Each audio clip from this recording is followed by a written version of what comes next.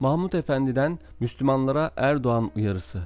Refah Partisi'nden 20. dönem Rize Milletvekili Şevki Yılmaz, Mahmut Efendi Hazretlerini Bursa Uludağ'daki konutunda ziyaret etti. Yılmaz, Mahmut Efendi ile arasında geçen 28 Şubat Erbakan ve Erdoğan'la ilgili konuşmayı anlattı. Son dönem aktif siyasetten uzak olan Şevki Yılmaz, alimin mürekkebi şehidin kanından üstündür. Kim bir alimi ziyaret ederse beni ziyaret etmiş gibidir buyuruyor Resulullah Efendimiz. Biz büyük devletleri alimlere olan saygı ve onlarla yapılan istişarelerle kurduk. Onun için ben de hayatım boyunca gönül dostlarına konferansa gittiğim her şehirde kendileri vefat ettilerse kabirlerini ziyaret ederek konferanslara başladık dedi. Mahmut Efendi Hazretlerinin Türkiye'de çok önemli bir yeri olduğunu söyleyen Yılmaz, kendisi sözünü esirgemeyen, uyaran manevi bir liderdir dedi ve Mesut Yılmaz ile Erbakan Hoca'nın koalisyon kuracağı zaman basında çıkan olayı şu şekilde anlattı.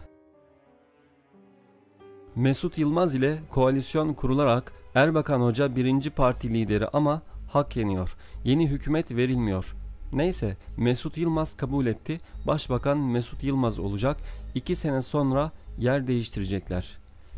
Benim hiç içime sinmedi. Mahmut Efendi'yi aradım.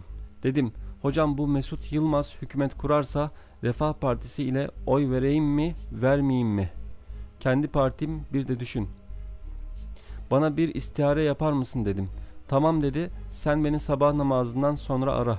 Sabah namazından sonra aradım. Rahat ol dedi. Hükümet kurulmayacak. Allah Mesut'un kalbine korku verecek, vazgeçirecek dedi. Ben şaşırdım tabi. Subhanallah dedim. Sevinerek ayrıldım. Ankara'ya geldim. Mecliste rahmetli eski çalışma bakanı Necati Çelik kardeşime dedim ki boşuna elbise yaptırdın. Bakan olamıyorsun dedim. Takıldım. Yok ya dedi. Olur mu dedim. Mahmut Efendi Hazretleri istihare yaptı. Mesut Yılmaz vazgeçecek. Her şey hazır dedi. Pazartesi liste verilecek. Dün Mesut Yılmaz Rize'de kendini başbakan diye karşılattı dedi. İyi bekleyelim dedim. Mesut Yılmaz'ın uçağı Trabzon'dan sis yüzünden kalkamadı. Ankara'ya kara yoluyla geliyor. Samsun'da basın toplantısı yapmaz mı?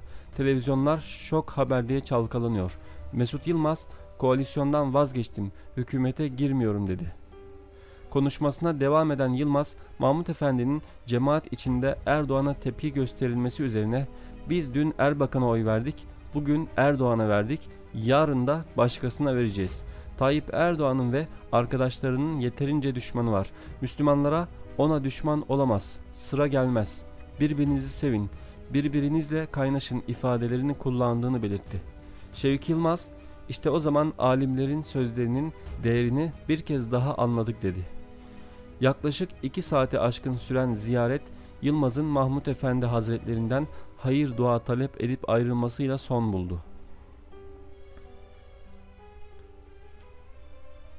Evet arkadaşlar, herkese selamünaleyküm. Mahmut Efendi Hazretlerinin e, görüşleri her zaman İslam aleminde önemli bir yer etmiştir. Ve son zamanlarda e, Şeyh Nazım Kıbrısi Hazretleri vefat etmeden evvel Mahmut Efendi Hazretleri ile e, çok iyi bir şekilde muameleleri vardı kendi aralarında birbirlerine karşı. Hatta Mahmut Efendi Hazretleri Cübbeli Ahmet Hoca'yı Şeyh Nazım Efendi'ye göndermişti.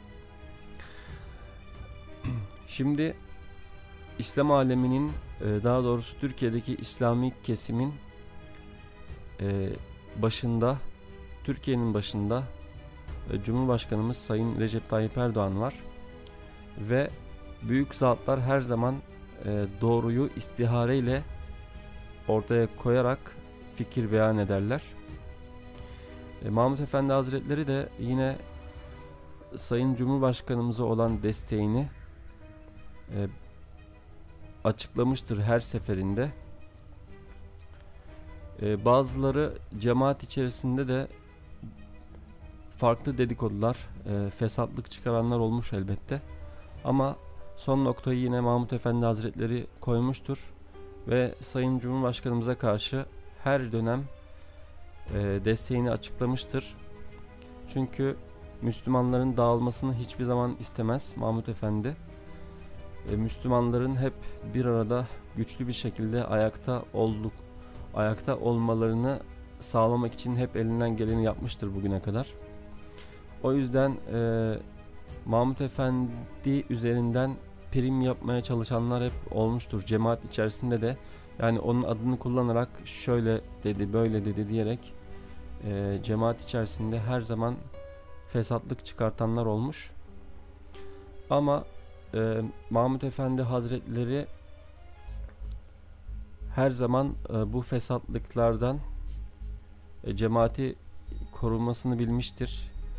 Cemaat yine e, her zaman olduğu gibi Mahmut Efendi Hazretlerinin arkasındadır ve Tayyip Erdoğan'ın da arkasındadır.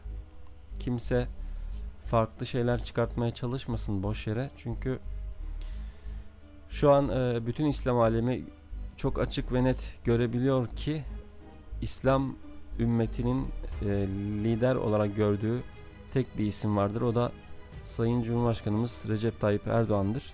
Aslında Türkiye'de yaşayan herkesin bununla gurur duyması lazım.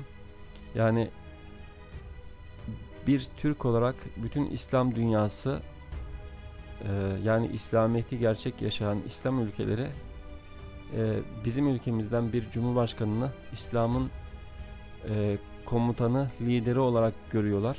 Bu gerçekten Türkiye'de yaşayan bir halk için gurur verici bir tablo ama ne yazık ki e, Erdoğan'ı çekemeyenler sırf namaz kıldığı için, sırf namaz kılan bir cumhurbaşkanı olduğu için ona düşmanlık besleyenler işte rakı içseydi, e, içki içseydi biz de onu desteklerdik diyenler ne yazık ki hala düşmanlık beslemeye devam etmekteler.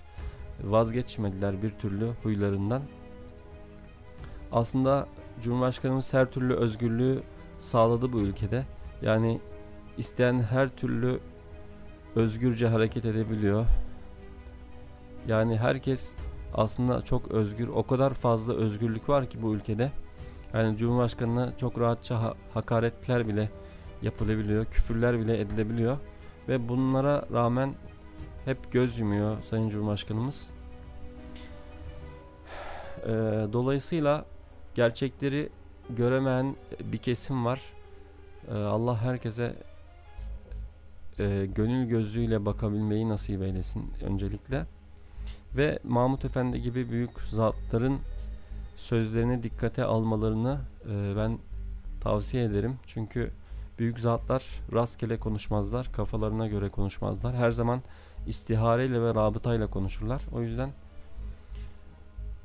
Mahmut Efendi Hazretlerinin bu e, sözlerini dikkate almalarını nacizane tavsiye ederim. E, söyleyeceklerim bu kadar.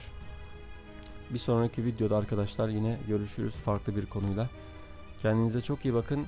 Ee, videoya yorumlarınızı bekliyorum arkadaşlar. Bu konuyla ilgili görüşleriniz nelerdir merak ediyorum. Yorumlarınızı esirgemeyin. Ee, videoya da çok ciddi bir beğeni bekliyorum arkadaşlar. Çünkü bu videonun özellikle YouTube'da öne çıkmasını isterim. Sizlerden destek bekliyorum. Kendinize çok iyi bakın. Bir sonraki videoda yine görüşmek dileğiyle. Allah'a emanet olun.